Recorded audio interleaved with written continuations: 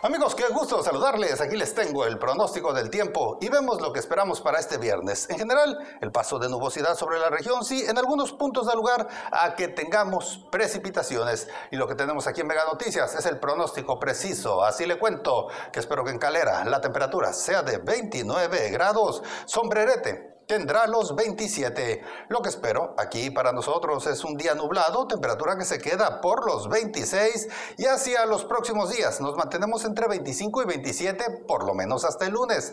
Es muy probable que a mediados de la próxima semana, casi para toda la República Mexicana, veamos bastante nubosidad y con ello bajen las temperaturas y en algunos puntos hasta aumenten las precipitaciones. Este es el pronóstico del tiempo de Mega Noticias.